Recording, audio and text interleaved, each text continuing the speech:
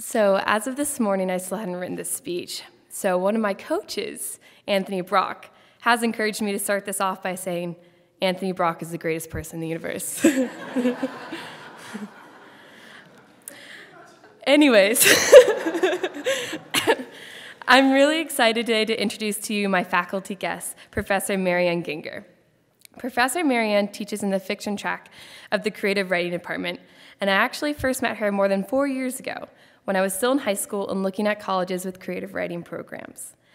Not only do I have Professor Marianne and a few of her colleagues to thank for showing me how amazing UNC is and for making me fall in love with Carolina, but I also have them to thank for making it possible for me to even come here. I don't think I can overstate how instrumental Professor Marianne was in advocating for me financially and for securing me a spot from out of state. I absolutely couldn't have come to UNC without Professor Marianne's help, and for that professor, I will always be in your debt. It was the coolest thing to have you as my honors thesis advisor this past year, and to have your wisdom, enthusiasm, and kind, critical support as I struggled to write stories worth reading. Thank you also for understanding how much rowing meant to me, for working with me outside of class, and for allowing me to sometimes miss class for practice. Both my thesis and my rowing season wouldn't have been so, so, so successful without you. It really made everything come full circle, full circle to have you as my professor.